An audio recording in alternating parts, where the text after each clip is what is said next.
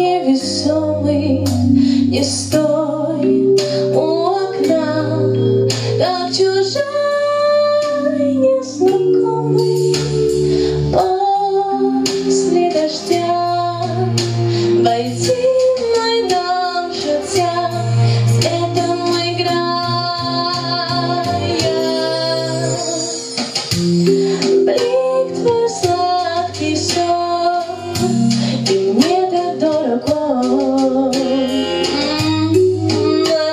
печали тихий стол.